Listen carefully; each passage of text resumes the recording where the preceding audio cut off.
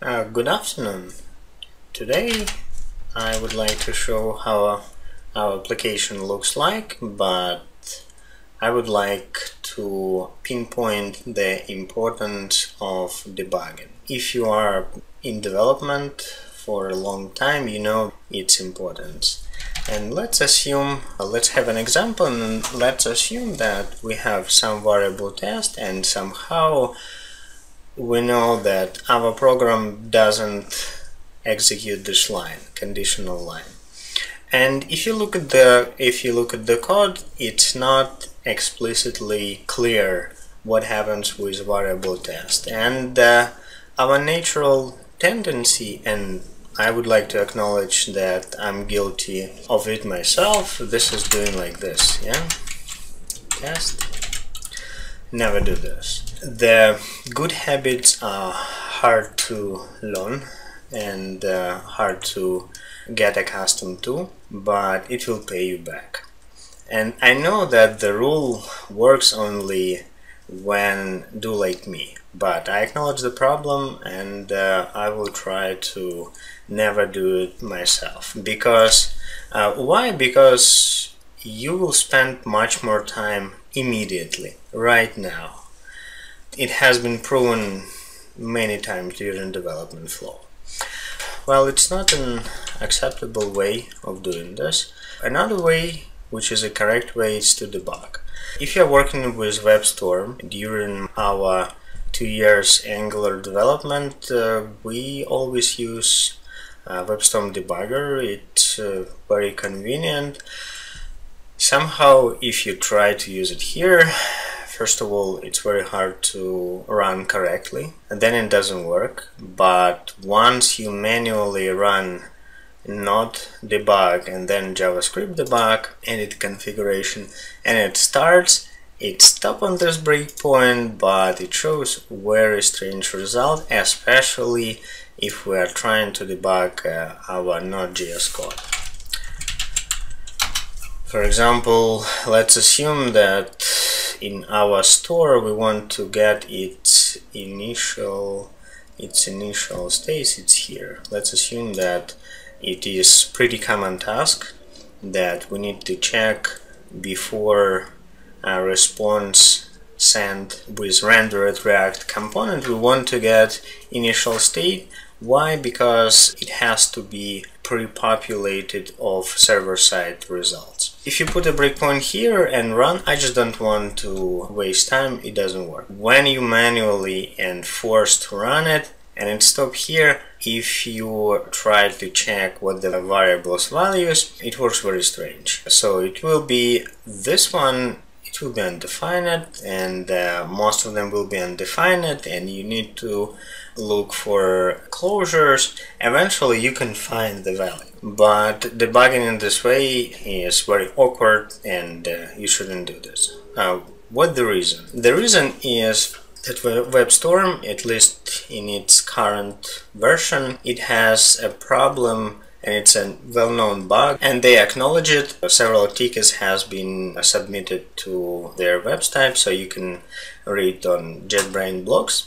But uh, so what to do? How to debug it? I spent a day trying to figure out what would be the best way to debug it. And I would like to share my results so you do not spend uh, your valuable time and can immediately debug, check your variables, have a happy workflow. So we cannot use a WebStorm debugger and WebStorm debugger they have its own debugger. It is possible because Node and version 5 it has uh, its debug options but we have another issue that we are glad to write our code in ES6 but Babel compiles to ES5 and uh, it is not debugger has problem to understand how to find a source because you don't want to de debug over compiled code. It's still possible to approximate what is where, but it's an incorrect way to do this. And the best way to debug is to install globally this package, Babel Node Debug. This is a LoopNet company developed it. They wrote a lot of Node application and they have a wrapper around your Node code and it's possible then to debug. But there are a lot of issue as well.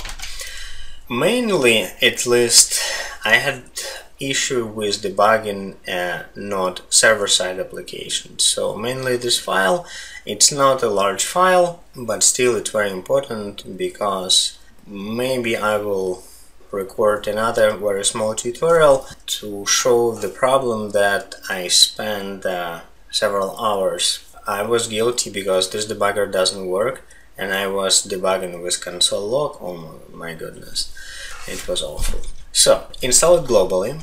I wouldn't show how to install it. Then, first of all, because in our application in package.json we have a dev pack and inside of dev pack you need to specify that you want dev tools, you want to debug and you want to have a source map. I encourage you to use source map and this is a full and you can see at webpack dev server other settings. I found this is the best settings to have complete source map so you can very fast during development debug your application. We need to run this, we need to split because as you know now I combine dev and uh, I install it in npm run all it's very convenient package and I run this nodemon and devpack in parallel now we need to split them first of all I run only devpack I install it in external PowerShell console so it it, it, it uh, and in use I mean it means that I run it somewhere else. No, maybe it's yeah, it's this terminal. Uh, it's possible. It's possible to run inside a WebStorm, but uh, uh, I found that it's better to use if you install that package globally. It's better to run them with admin privileges. So it starts running. Then we need to instead of node now because we are running Babel node we do not need to run our runner which calls Babel core register and debugging with that option also very buggy. Now we can run server file and it will understand. Starts in my another screen. You got such a console. You need to wait in order to run it. This is our code. This is a WebKit debugger. Compared to WebStorm debugger, maybe it's a little bit, it seems like it's a browser, it's some kind of inconvenient short uh, version, but I didn't find any functionality that I had and use it inside WebStorm, but WebKit debugger doesn't have. I didn't uh, research how to work with uh, keyboard shortcuts. Mainly I use mouse, but it is possible to do. I encourage you to learn and I'm go also going to learn and uh, use keyboard shortcuts. But let's go and try to figure out what is our initial state. Because like I said, it's better, it is now open a server source and uh, it is our initial file and if I put a breakpoint here and now I need to reload my site. Oh it's already been reloaded. So you can see I stop at the breakpoint. I can check my variables. There's articles users everything is great. So I can debug and see what the variable and I can do all the debugging uh, functionalities. So WebKit developer, Google developers they did an excellent job. So I have full debugger. I resume application flow and I have our application working. Now another function I found that if you need to debug your React application so I remove this breakpoint and uh, with Control P I can open any file and let's assume let's go to oh, it, it's, it's already open but I would like to show that always use this control P rather than uh, searching over your application. It uh, will save you a lot of time. And I will go to main layout and again I open source. You can see that this is our application. If I put a breakpoint here it wouldn't stop but there is a way, a convenient way to debug your React code. And uh, let's come here a lot. Huh. Okay. I'm sorry. it starts working. Most of the time it doesn't work, but there is a way. I go to my initial, so I need to resume this application. And uh, I can open the same menu here. In my original window open main layout source here. And uh, if I put the breakpoint here okay I just wonder what would happen. So it stops in our native window and let's resume yeah. I found that it's much faster to debug client-side application, React application inside this window and with server using Node Inspector.